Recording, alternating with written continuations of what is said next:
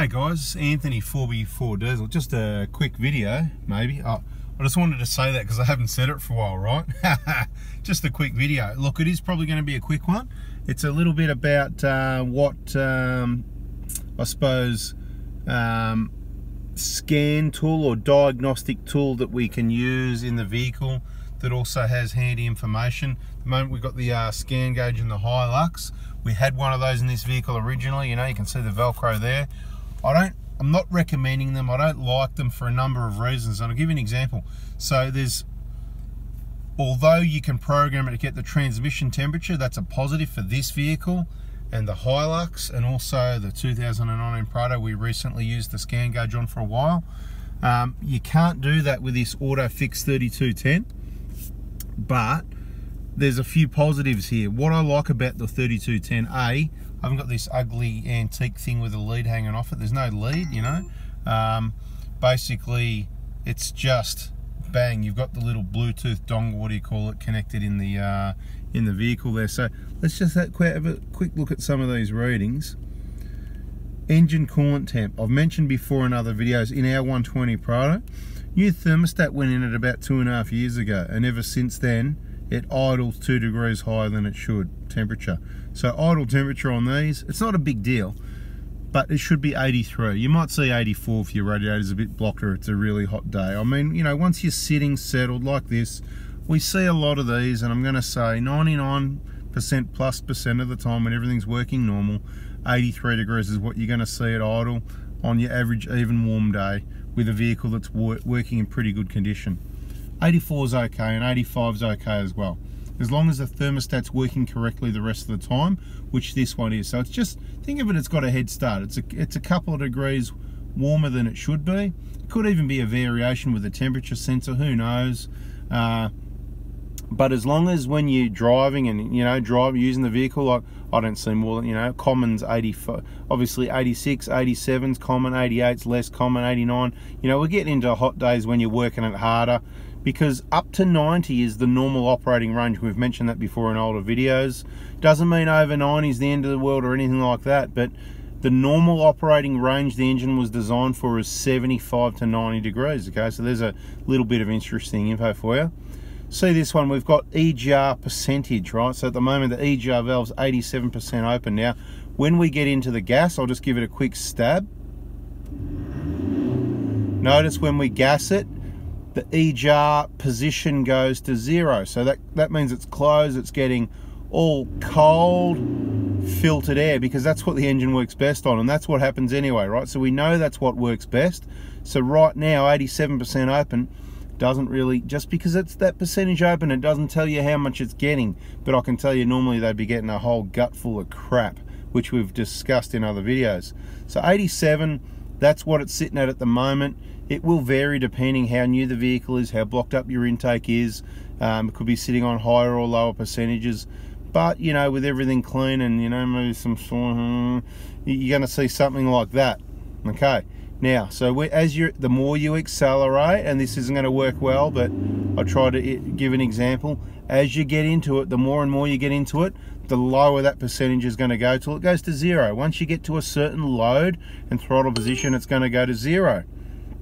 Okay, so when it goes to zero, that's awesome. That's really where you want it to be. You want it to be on zero. That's great, you know, just be on zero.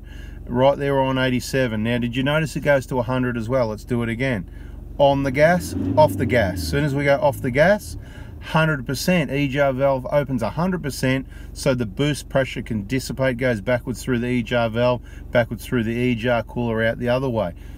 Probably have some more detail of that in another video, so subscribe, turn the bell on for when we do that explanation. It's a matter of next time we've got the EGR cooler off the vehicle, uh, which doesn't happen that often and when we've got time to explain it. So we'll get one we'll have it off we'll clean it all up we'll make sure it's working right and we'll try and go through all the explanations. Okay what else we got here?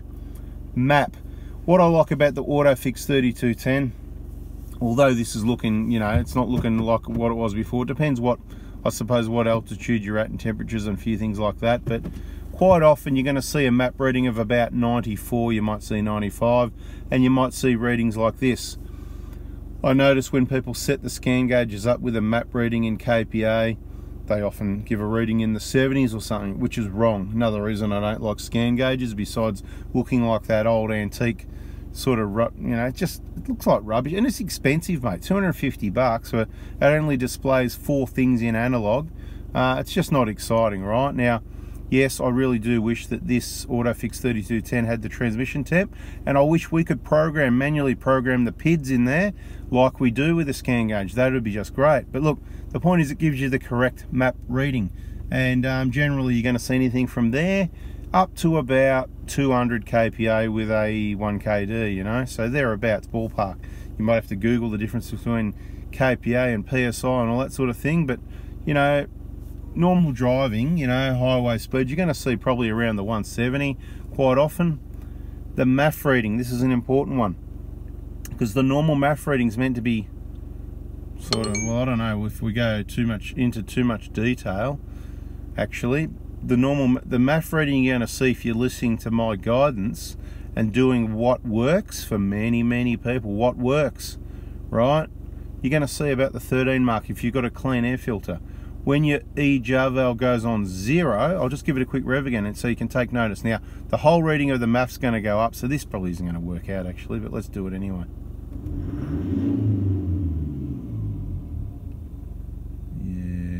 It's not really helping you. So look, every now and then randomly these vehicles, they shut the EGR valve, okay? and then when that happens you've got more air going past your MAF when it's completely shut the EGR valve you're going to see around 16 17 18 at the MAF reading okay?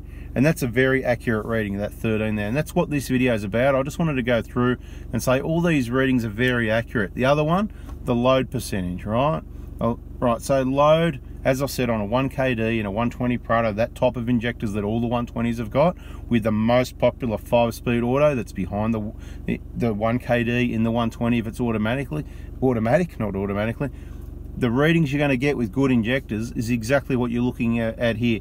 These injectors are only about two and a half years old, so you're going to see readings, look at them, yeah, they're as good as new, aren't they? So if you look after things the right maintenance, this is the sort of thing you're going to see. You might see 11, you might see 12, that's okay. We've been through that before. Once you start to see on a 120 readings like uh, 15, 14, 15 there, that's when you need to plug in another scan tool and go, hey, what's going on? And you should, probably should do that once every year or two anyway. And of course, you've got the vehicle speed there. It's a lot more accurate than looking at this thing here, to be quite honest, or that thing over there, do you know what I mean? So um, it's a good way to know your speed. So you can have six things up on the screen. That's my choice on the 3210. And I suppose the video was about these are very accurate readings. The map reading's accurate. It's not like what you can get out of the scan gauge. Um, I wouldn't bother using the scan gauge for boost or map. It, for whatever reason, I'm not getting into it. I'm not the election. I'm not the scan gauge person. Whatever. I'm just telling you generally. So put it in the comments if you've got a scan gauge and you find that yeah the map reading, whether it's called map or boost or PSI or KPA whatever, if you find what I find, and uh, yeah it reads low, and it also you'll the maximum boost you'll see in PSI is about 12 PSI generally. So let us know in the comments if that's what you're finding. On the 3210 here, Autophix 3210. If you want one, Autophix Australia with a PH, not an F. You know, like Philip Autophix Australia. Um, Trevor Ryan from Dirt Ride 4x4. Here's your man if you want to get one of those. Um, there, I think there's even an Oz Prado Crew, ongoing Oz Prado Crew discount. I'm not sure if, have a look on his website. Any dramas, just hit him up on Messenger. He loves to get hit up on Messenger.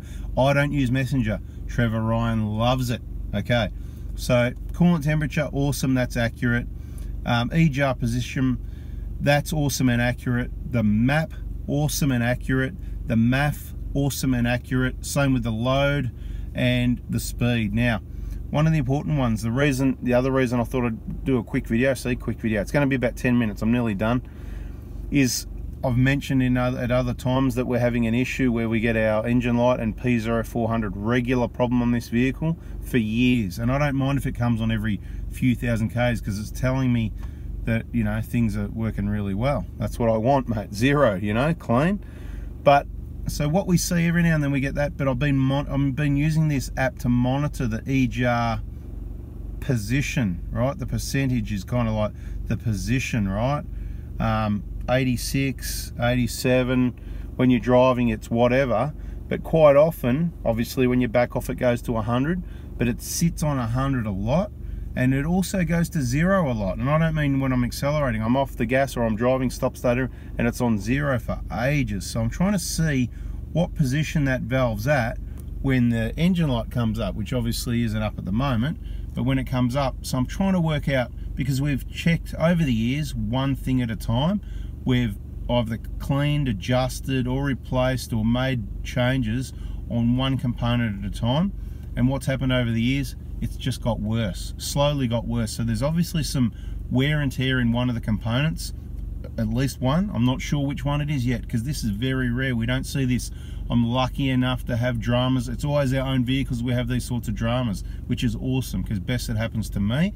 Uh, so I'll let you know more in another video once we know. We're going to do some swap Gnostics eventually when we get some time. Just wanted to show you this thing. The readings are accurate. We're using it as a diagnostic tool there slightly as well, keeping an eye on that EGR position or percentage, which you can see at the moment it's working really well. So they're the readings I generally have up. The other one you can have up is battery voltage, but for about six bucks I've got it down there, right? See, 14 volts, happy days.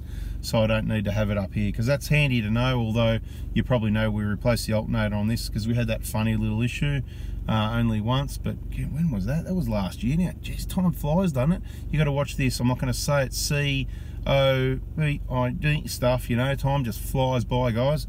Um, got to get back onto those trips day trips, weekend trips. Stay tuned on our other YouTube channel, on our Facebook groups, because I'm going to put a couple of trips up for you.